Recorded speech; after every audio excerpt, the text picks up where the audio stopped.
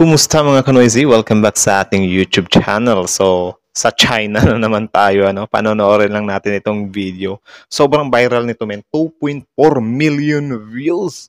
Mula kay Kuya Wan, uh, meron itong pamagat na grabe, ganito pala sa China. Food scan dahil sa China na discover I1 TV. So, I1 TV yung pangalan niya dati. So, pinalitan niya ng Kuya Wan. So, panonoodin lang natin ito guys kasi alam niyo naman itong mga Chinese. Hindi naman lahat pero ang lakas nilang magmalinis guys. So, tara, tingnan natin yung mga kalokohan nila which is for sure maaning kayo dito men. So, yun, bago natin simulan, Kuya Juan, supportahan nyo yan. Tapos, syempre, kung trip nyo ng mga ganitong reaction video may kasama kayo manood, huwag nyo na rin kalimutang supportahan yung YouTube channel natin, Filipino IC. So, Di na natin ito patatagalin pa. Simulan na natin. Baka agawin pa ng China. Again, ang video ito ay may pamagat na grabe. Ganito pala sa China. Food scan dahil sa China na discover. Like, comment, share, subscribe. Start. Kilala ang China Scorpion sa maraming bagay mula sa kultura at tradisyon pero hindi din natin maitatanggi na sila ang pinakasikat pagdating sa kanilang mga peking item. O, diba?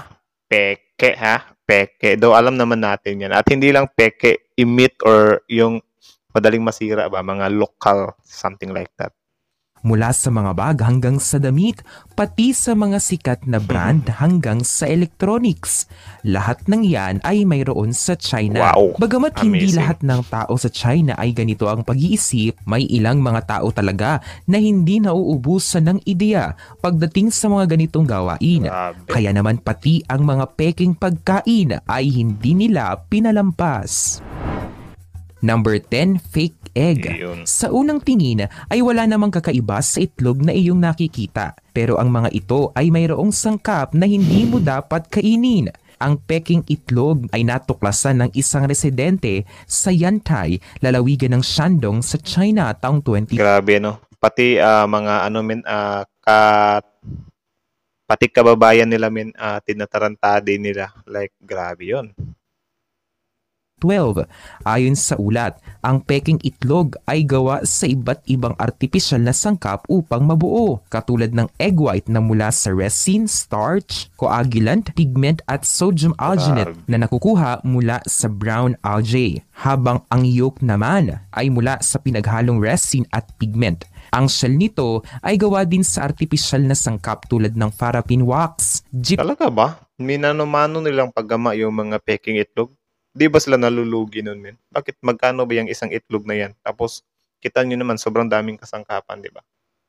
Or siguro, kapag ginagawa nila yan, sobrang daming magawa na nila. Like for example, isang kilong raisin, isang kilong ano pa man yung mga requirements nila, tapos nakaka-create sila doon ng ano siguro, mga 600 ka itlog.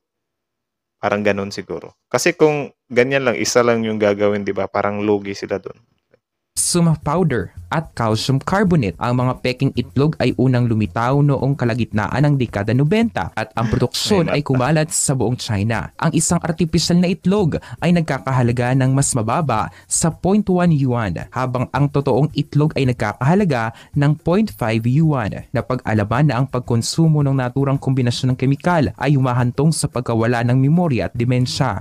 Grabe ano?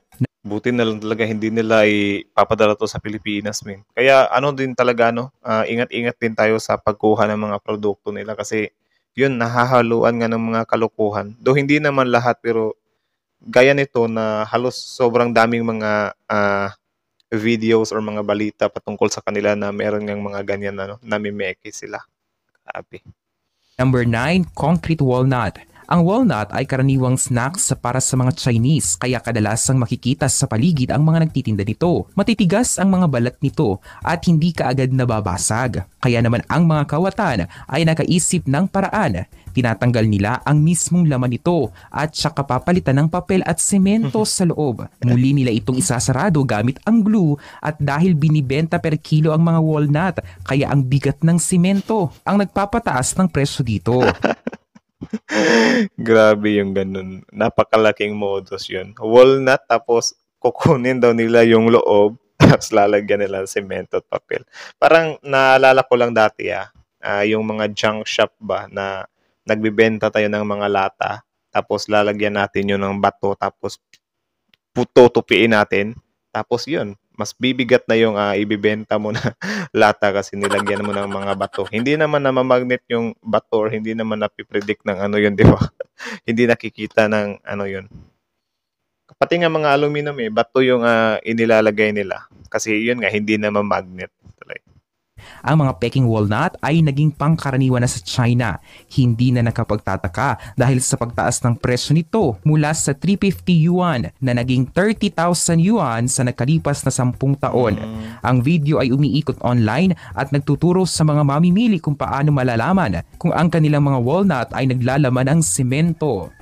Grabe yun. Number 8, gel-injected shrimp. Sinong mag-aakala na pati ang mga hipon ay mapagdidiskitahan? Isang lokal na residente sa China ang nagreklamo matapos nitong bumili ng mahigit dalawang kilo ng hipon na malaki at sariwa sa isang palengke sa distrito ng Heping. Ngunit nang hugasan niya ang mga ito sa bahay ay dito na lumitaw ang mga jelly-like substance na pinaniniwalaan na gelatin, isang sangkap na karaniwang ini-inject sa mga hipon panahon upang mas maging... Grabing modus talaga. Oh.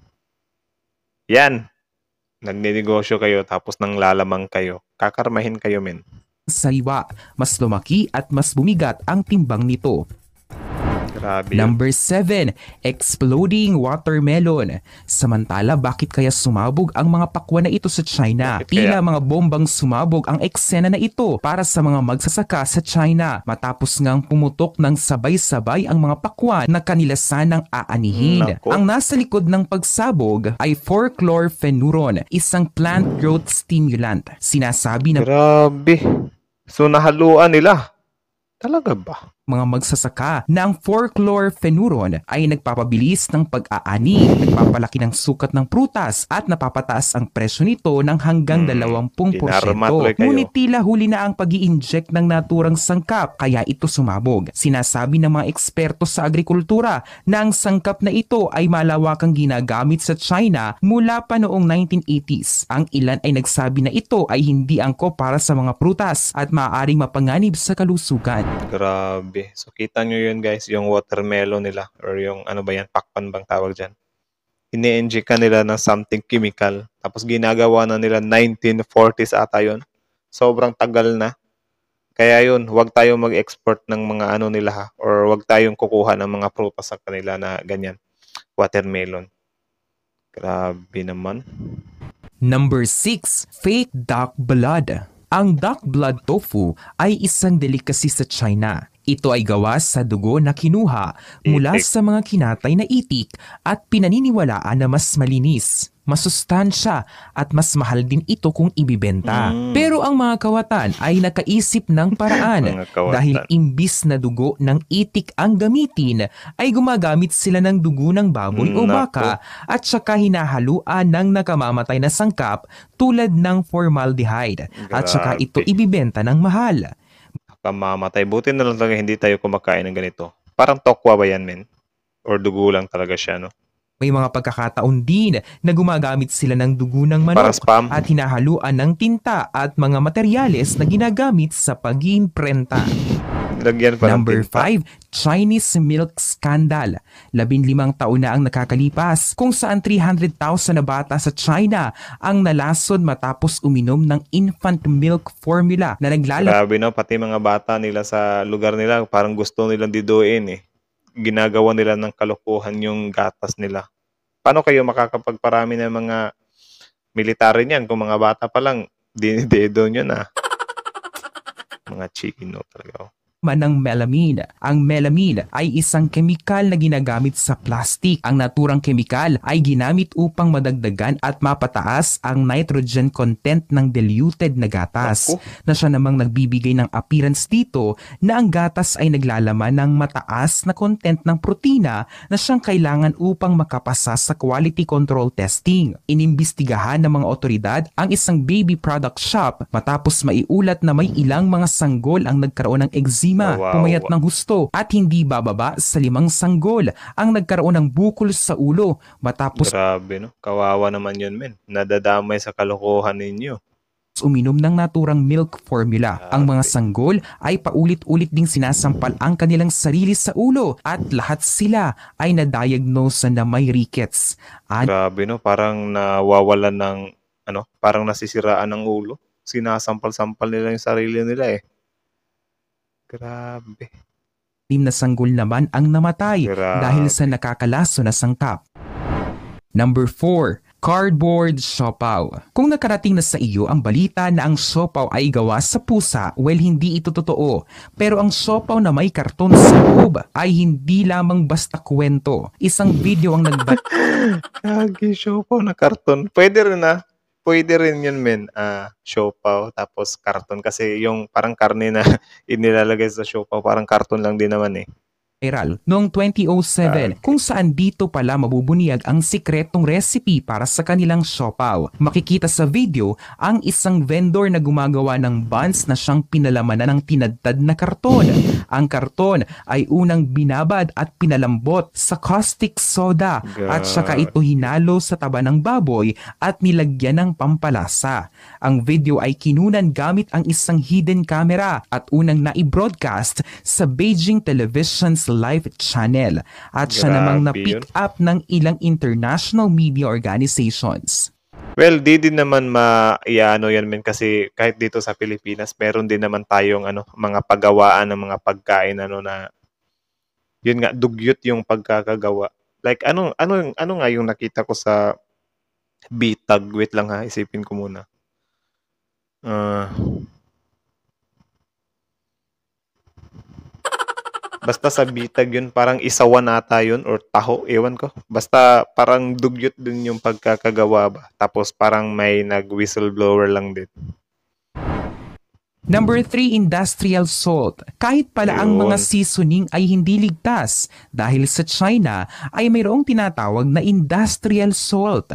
Ang industrial salt ay karaniwang ginagamit bilang raw material para sa paggawa ng iba't ibang mga kemikal. Hindi kagaya ng normal na asin. Ang industrial salt ay maaaring makapagdulot ng kanser at makasira ng kidney at atay. Grabe? Napag-alaman din na may isang market vendor sa lalawigan ng Guangdong ang modus ay pinapalitan ng putik ang black pepper habang pinapalitan naman ng harina Putik talaga eh.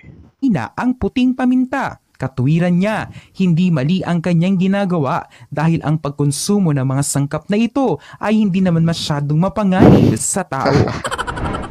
Number 2, Tarantadong ah, palusot yan ah. Plastic rice. Kung Naku. mayroong isang pagkain na imposibleng mapeke, ito ay ang bigas. Pero kamakailan ay may kumalat din na peking bigas sa China na tinatawag ding plastic rice. Naku. Ito ay gawa sa patatas, kamote at synthetic resin na hinulmas sa hugis ng totoong bigas. Grabe. Ang bigas ay karaniwang ibinibenta sa mga pamilihan sa So ito na yun. Plastic yan. Grabe, parang tunay din ah. Grabe, nagawa nilang ipeke yung bigas, men. Akala ko ba pansit lang yung kinakain nila? Ba't gumagawa sila ng rice? Gagi par. Tuloy. China, lalo na sa Taiwan, sa lalawigan ng Shanxi. Ayon sa mga ulat, ang bigas ay nananatiling matigas kahit na naluto na ito at hindi madaling matunaw. Medyo mapanganib din ito sa kalusugan dahil ang pagkonsumo ng tatlong mangkok nito ay katumbas ng pagkonsumo Wow. ng isang bag ng vanilla o isang plastic bag. Bagamat Grabe, no? Isang plastic, men. Delikado yung plastic eh kasi nakakasira talaga yun ng katawan. Or may mga chemical kasi na naihahalo doon. pinabulaanan ang mga peking bigas na ito, mas mabuti nang maging maingat at mapanuri upang makaiwas sa peke. Number 1, Ito na. recycled cooking oil. Ang pagre-recycle ng mga bagay-bagay ay lubhang nakakatulong sa kalikasan.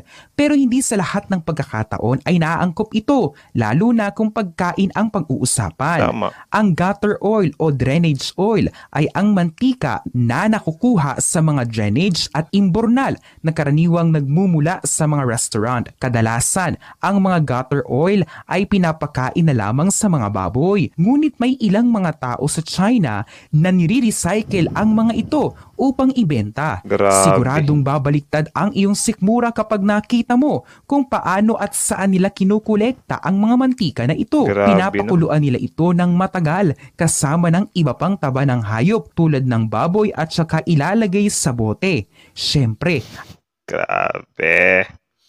So parang ang siste nga doon ano, meron para silang marang So parang ang siste doon, merong mga factory or mga businessmans doon or business company na mga company na parang oh ito, drainage natin to para sa mga waste oil ah.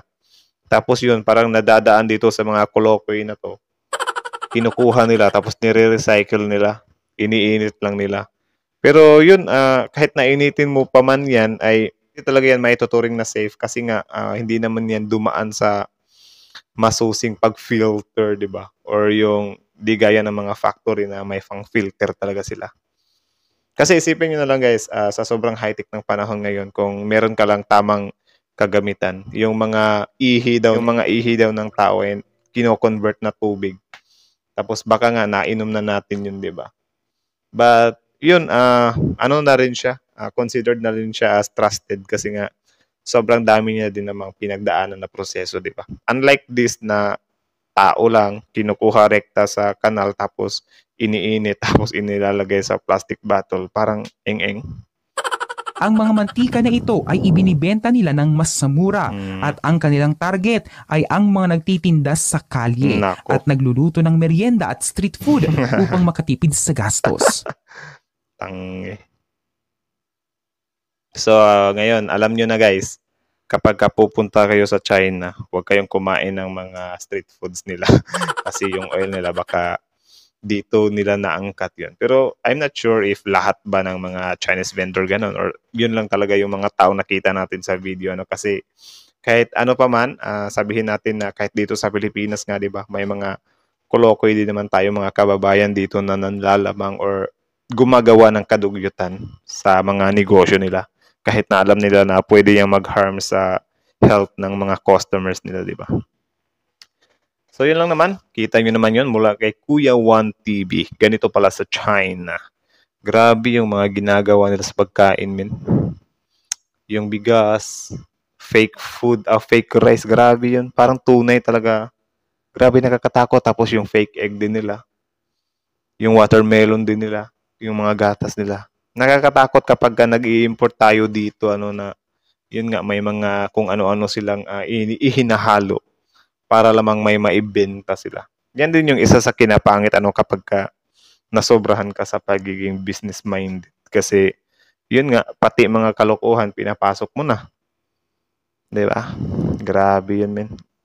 Nagulat din ako doon ah. Hindi ko in-expect yun na or it's my I think yung iba dito, ah, first time ko lang nakita na, ah, meron palang mga ganito. Gaya nung sa gatas at saka sa watermelon nila na nagsi-viral nga, di ba? Na yun nga yung mga pinagagagawa nila. So, yun. Huwag naman sanang ganun, ano, itong mga Chinese talaga, oh. Hindi naman sa nilalahat ko yung Chinese, ha, but, you know, yung mga kalokohan nila ba? Yun nga, wag masyadong, ano, gahaman, min. Ang gagahaman kasi. so, yan lang muna. Again, ah, Kuya T, So yan lang muna. Again, na Kuya Juan, uh, supportahan nyo yan. Subscribe nyo guys. Yung original video in the description box below. Bisitahin nyo yung YouTube channel na. Bisitahin nyo yung YouTube channel niya. I-subscribe nyo yan. Again, original video in the description box below. Tapos syempre, uh, again, kung trip nyo ng mga ganitong reaction video may kasamang manood, huwag nyo na rin kalimutan supportahan yung YouTube channel natin, Filipinaisi. So that's it. Thank you so much for watching guys. Uh, Filipino is out. Thank you so much. Bro, bro.